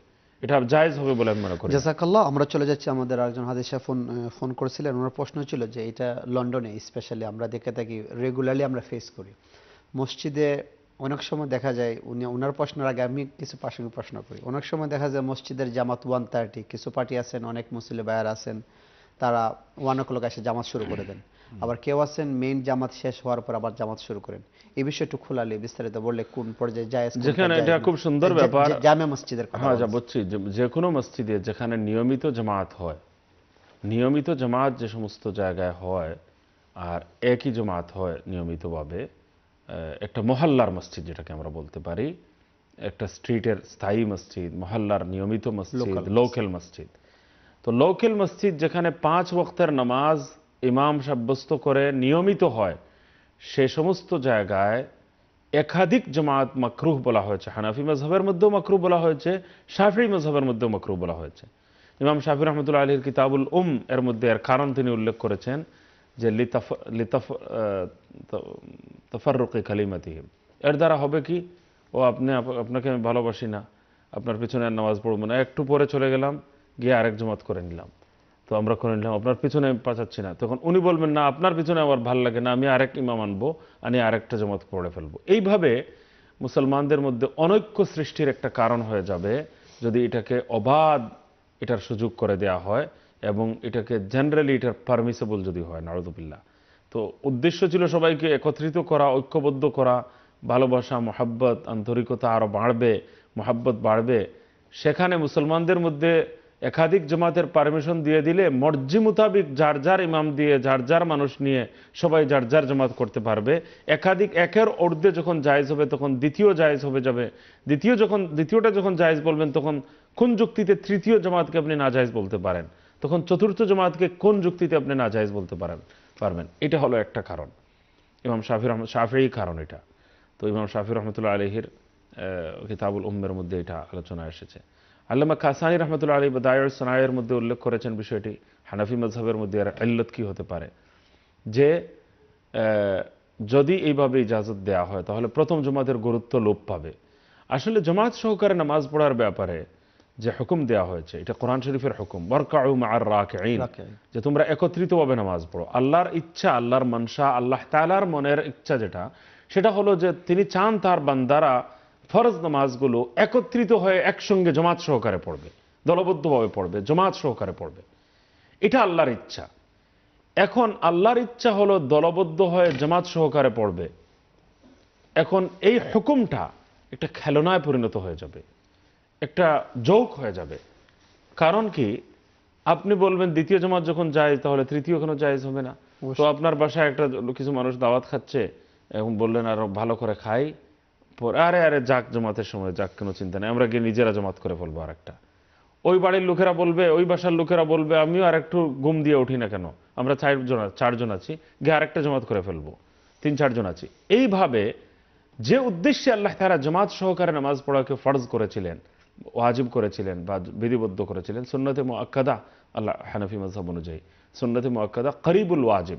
জামাত মানে উজর ছাড়া, জমাত ছাড়া ঠিক নয়। তো এটা এত গুরুত্বপূর্ণ সুন্নতে মোয়াক্কাদা। তো করিব বিল ওয়াজিব। যে ওয়াজিবের একেবারে কাছাকাছি আবার সুন্নতে মোয়াক্কাদা স্ট্রং সুন্নতে মোয়াক্কাদা। এই উদ্দেশ্য যে আল্লাহর উদ্দেশ্য হলো সবাই একত্রিতভাবে নামাজ পড়বে এখন এটাকে মানুষ খেলনায় পরিণত করে ফেলবে। এই হুকুমটা আল্লাহর যে হুকুম এটা নিয়ে আমরা এটাকে যোগ বানিয়ে ফেলব। তো প্রথম জামাতের গুরুত্ব লোপ পাবে একাধিক জামাত বেশি থেকে বেশি মানুষ করবে। কার জন্য জায়েজ আছে? হানাফি ফেকা অনুযায়ী বলছি। হানাফি ফেকা অনুযায়ীও বহিরাগত যদি কেউ হয় দূরের থেকে কয়েকজন এসেছে তারা এই মহল্লার লোকজন না। তারা এই ডেইলি ডেইলি প্রতিদিন এখানে যে স্থায়ী এবং নিয়মিত জামাত হবে এটাকে ভেঙ্গে ফেলে তারা আরেকটা জামাত ডেইলি এসে করার যে বদভ্যাস তাদের মধ্যে চলে আসবে এমন নয়। মুসাফিররা সফর করে বাইরে থেকে যদি আসে আর তারা দেরিতে এসে পৌঁছেছে তাদের জন্য এই জায়গাটা বাদ দিয়ে মসজিদের বারান্দায় বা একটু পেছনে কোথাও যদি তারা আরেকটা জামাত করে ফেলে, তাদের জন্য জায়েজ। হ্যাঁ তাদের জন্য যেহেতু জায়েজ, তখন মহল্লার যদি কেউ বাকি থেকে যায়, সে যদি সেটাতে অংশগ্রহণ করে ফেলে, তাহলে সেটাও মাকরু হবে না। তখন যদি এমন মুসাফিররা, বহিরাগত কিছু মানুষ নতুন এসেছে, তাদের রাস্তার কারণে, দেরিতে এসে পৌঁছার কারণে দেরি হয়ে গেছে, এমন বহিরাগত লোকেল না। এরা যদি এসে জামাত পড়ে, তাদের জন্য যেহেতু জায়েজ, তখন মহল্লার কেউ বাকি যদি থেকে যায় প্রথম জামাত থেকে এবং সে যদি তাদের জমাতে শরিক হয়ে যায় সেটা জায়েজ হবে এবং মাকরুও হবে না। আর আরেকটা মসজিদ হলো মসজিদ তোরক বা মসজিদ সওয়ারে যেটাকে বলে। একটা হলো একেবারে রাস্তার মুসাফিরদের জন্য বানানো একটা মসজিদ যেটাকে রাস্তার মসজিদ বলা হয়। মসজিদ অফ দ্য ওয়ে রোড বা একেবারে কিছু বাজার আছে যে বাজারে এরকম এক জমাতের মানে ছোট্ট মসজিদ এবং বাজারে মানুষ বেশি। এখন দেখা যায় মানে কোনোভাবেই সবাই একসঙ্গে পড়তে পারবে না। দ্বিতীয় কথা, অনেক মানুষ আগে পৌঁছ- পৌঁছাচ্ছে, কিছু পরে পৌঁছাচ্ছে। এটা একেবারে বাজারের স্থায়ী মসজিদ মানে এখানে লোকেল মানুষ নেই লোকেল মহল্লা নেই লোকেল কোনো কমিউনিটি নেই। সব এই গ্রাম থেকে, ওই গ্রাম থেকে দশ গ্রামের মানুষ আসছে বা আরও একশো গ্রামের মানুষ আসছে। বিভিন্ন গ্রামের মানুষ আসছে, এখানে লোকেল স্থায়ীভাবে কোনো মানুষ এখানে নেই। এটাকে বলা হয় মসজিদ তরক রাস্তার মসজিদ অথবা বাজারের মসজিদ। অথবা মসজিদ সওয়ারা এগুলোতে মুসাফিররা, আগন্তুকেরা সব সময় যাওয়া আসার পথে কন্টিনিউ তারা জমাত পড়ে যায়। এমন ঠিক রাস্তার মাঝখানে একটা মসজিদ, আর একেবারে রাস্তার পাশে এখন গাড়ি থামছে এবং মসজিদ নামাজ পড়ছে। তো কেউ আগে একটা কোচ আসে থামছে, তাদের জন্য এটা জায়েজ আছে। এবং ওই সমস্ত মসজিদে একাধিক জমাত দ্বারা ওই উদ্দেশ্য ব্যাহত হয় না। উম্মতের মধ্যে বিরোধ সৃষ্টি হওয়া বা পরস্পরের মধ্যে খাদা ছোড়াছুড়ি এবং দূরত্ব এবং বৈষম্য এবং গ্রুপিং তৈরি হওয়ার কোনো সম্ভাবনা নেই। আর প্রথম জামাত প্রথম জামাতের গুরুত্ব লোপ পেয়ে যাওয়ার সম্ভাবনা নেই।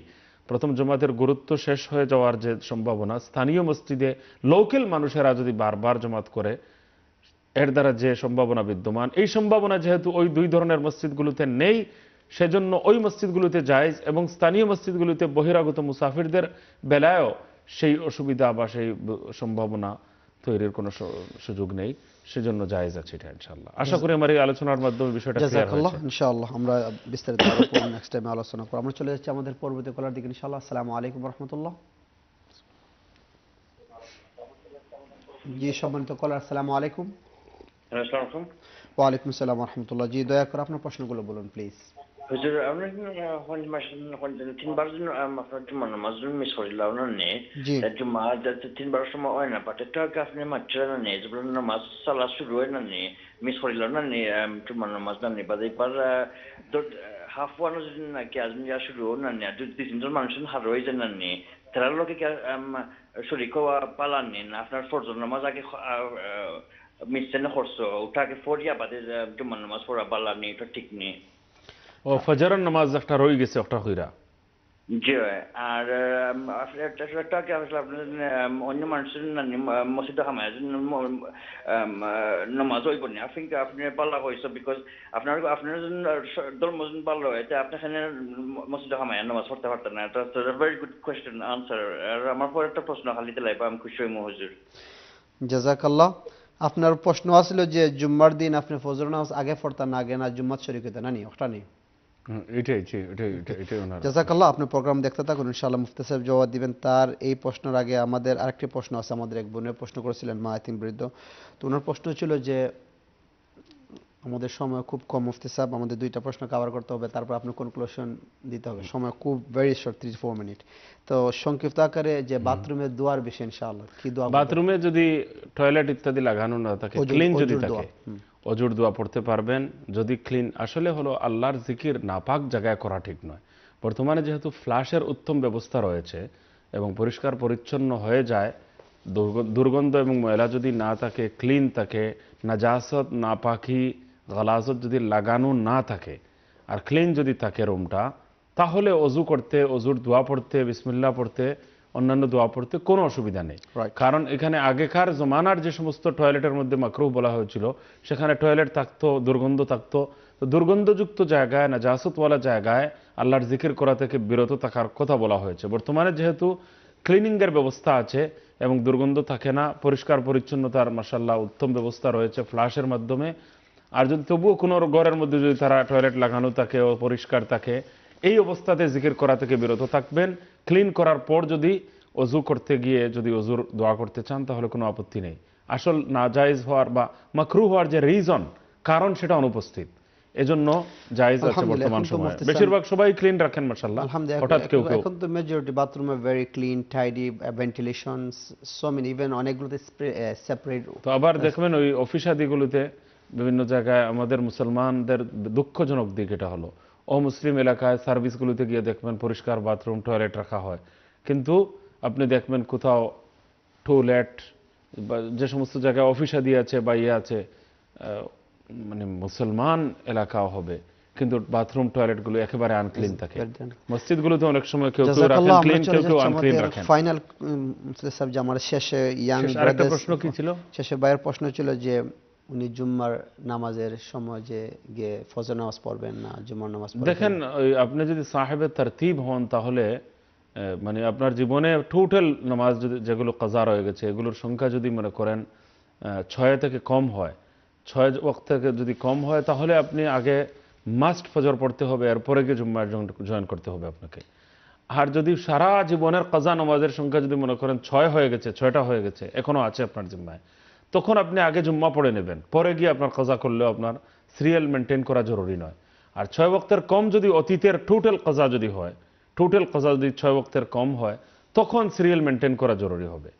তো আশা করি বিষয়টা বুঝতে পেরেছেন, না হয় অন্যদিন প্রশ্ন করবেন ইনশাআল্লাহ। জাজাকাল্লাহ আর একটা সংক্ষিপ্ত থার্টি সেকেন্ড অনেক সময় যে আপনি ওই যে জামাতের বিষয়ে যে মসজিদে, অনেক সময় যে মেইন জামাতের আগে অনেক মসজিদ জামাত পড়তে দেয় না। জামাত পড়লে ইমাম সাহেব বা মুয়াজ্জিন মসজিদ থেকে জামাত ভেঙে দেয়। তো ওইটা কি অ্যালাউড দেখেন স্থানীয় মসজিদে স্থানীয় জমাটটাই হবে এটা বেশি উত্তম। কিন্তু মুসাফির যদি কেউ চলে যেতে চায় আর বাইরে থেকে এসেছে বাইরের আসা বাইরে থেকে আসা লোকজন যদি হয়, বাইরে থেকে আসা লোকজন যদি হয় যে সে এসেছে বাইরে থেকে আবার সে বাইরে থেকে বাইরে চলে যাবে একটু দূরে চলে যাবে। এমন মানুষ যদি হয় তাহলে তারা জামাত পড়া থেকে দেখেন প্রথম জামাত যদি নিয়ে যদি কোনো মিসআন্ডারস্ট্যান্ডিং তৈরির সম্ভাবনা থাকে। লাইক দিস সামটাইম লাইক মনে করুন জামাত one thirty so only ten minute left so আপনি এত এই সময় আরেকটা জামাত শুরু করে অনেক সময় অনেক মুসল্লি সুন্নত এটা থেকে বিরত থাকা উচিত। এক্স্যাক্টলি বিরত থাকা উচিত বেশিরভাগ ক্ষেত্রে। যদি বহিরাগত কোনো মুসল্লি হয় বড় কোনো বাইরে থেকে আগত মানুষ আবার বাইরে এই মুহূর্তে চলে যাবেন ট্রেন পাবেন না প্লেন পাবেন না তখন তাদের বেলায় ব্যাপারটা ডিফারেন্ট হতে পারে শুধু। তাদের তারাও কিন্তু নিরাপদ দূরত্বে চলে যেতে হবে বারান্দায় অন্যত্র কোথাও দূরে। কিন্তু স্থায়ী জমাত যেখানে এফেক্টেড হবে বা মানুষ মিসআন্ডারস্ট্যান্ডিং এর শিকার হবে সেখানে এটা থেকে বিরত থাকা উচিত একাই জাজাকাল্লাহ মুফতি সাহেব আসলে আজকে আমাদের দর্শকরা অনেক চমৎকার প্রশ্ন করেছেন। আলহামদুলিল্লাহ আপনি চমৎকারভাবে জবাব দিয়েছেন। সংক্ষিপ্ত ইনশাআল্লাহ দুই মিনিটে আপনার কনক্লুশন রিমার্ক ইনশাআল্লাহ। জাজাকুমুল্লাহ খৈরান আসলে আজকে আমি শুরুতে সিরাতুন নবী এবং উইমেন রাইটস এই বিষয়টা নিয়ে কিছু কথা বলেছিলাম। বিস্তারিত আলোচনার সুযোগ হয়নি। আল্লাহ নবী সাল্লাহ আলিয়াল্লাম মেয়েদেরকে, মহিলাদেরকে মায়ের মর্যাদা দিয়েছেন, মুকুট, মুকুটবিহীন সম্রাট বানিয়েছেন, মায়ের পদতলে জান্নাত বলেছেন। আল্লাহ নবী সাল্লাহ আলিয়াল্লামকে এসে এক মহিলা দাবি করেছেন, আমি তো হলাম আপনার বোন। আল্লাহ নবী বললেন, আমার তো বোন নাই কেউ। পরে বললেন যে যে হালিমা সাদিয়া রবিউল্লাহ আনহার দুধ পান করেছিলেন, ওই মায়ের কাছে আমিও দুধ পান করেছি। তো ওনার একই মায়ের কাছ থেকে দুধ, ওই পরিচয় দেওয়ার পর আল্লাহ নবী বললেন, আমার তো স্মরণে এসেছে। তখন আল্লাহ রবি সাল্লাহ ইসলাম বিদায় দিতে দেননি। বলছেন, আমি এখন আপন ভাই হয়ে গেছি। তুমি যদি চাও মদিনা মনোহর আমার সাথে চলে যাও, আমি তোমাকে লুক আফটার করব, খেয়াল রাখব। আর যদি চাও না, তুমি বললেন, না, আমি তো চাচ্ছি আমার ফ্যামিলির সাথে থাকব, আপনার সঙ্গে থাকব না। বাই হলে আমি ফুল রেসপন্সিবিলিটি সারা জীবন আদায় করব। তোমাকে আমি রাখব বরণ পোষণের ব্যবস্থা নিব, দায়িত্ব নিলাম, চলে আসো। আমি ভাই যখন বোনের পরিচয়, এই প্রথম পরিচয় পেয়ে এত বছর পর ফুল রেসপন্সিবিলিটি লুক আফটারের দায়িত্ব নিচ্ছেন। উনি যখন বললেন, না, আমি চলে যাব, তাহলে বলছেন, এইভাবে যেতে দেব না। অনেক হাদিয়া, তোহফা দিয়ে, সম্মাননা দিয়ে এরপর অনেক কিছু দিয়ে এরপরে মর্যাদা দিয়ে সম্মান দিয়ে তিনি বিদায় দিয়েছেন। এইভাবে আল্লাহ নবী সাল্লাহ আলি সাল্লাম মেয়েদের মা আম্মা জা- হুজুরের হুজুর সাল্লাহ ইসলামের মেয়ে হজরত ফাতেমা রদুল্লাহ যতবার আসতেন আল্লাহ নবী দাঁড়িয়ে যেতেন দাঁড়িয়ে গিয়ে নিজে সরাসরি গিয়ে বাবা হয়ে গিয়ে অভ্যর্থনা জানিয়ে জাযাকাল্লাহ। তো নারীদের কি পরিমাণ অধিকার দিয়েছেন এটা আমি বলতে গেলে সময় লাগবে। তো আল্লাহ তাআলা দিন এবং ইসলামে ইসলাম যে সম্মান দিয়েছে এটা বুঝবার এবং পর্দা রক্ষা করে দিনের হুকুম মানে মেনে চলে ইসলামের প্রতি শ্রদ্ধাশীল থেকে ইসলাম চর্চা করে মহিলাদেরকে চলবার জন্য তৌফিক দান করেন মুফতি সময় শেষ হয়ে গেছে। আন্তরিক সরি ধন্যবাদ, আছি। আপনাকেও ধন্যবাদ। জাজাকুমুল্লাহ খায়ের সময় দর্শক বন্ধু যারা শুরু থেকে শেষ পর্যন্ত আমাদের সঙ্গে ছিলেন আসলে সময়ের কমের কারণে আপনাদের প্রশ্ন নিতে পারে নাই। ইনশাল্লাহ আমাদের প্রোগ্রাম ইউটিউব ইকরা বাংলা ইউটিউবে দেখতে পারবেন। যারা শুরু থেকে ছিলেন বা নেক্সট টাইমে দেখবেন আপনাদের সবারকে আন্তরিক মোবারকবাদ এবং দোয়া কামনা করে আজকের মতো প্রোগ্রাম এখানে শেষ করছি। ভালো থাকবেন আমাদের জন্য দোয়া করবেন। আসসালামু আলাইকুম। ورحمة الله وبركاته.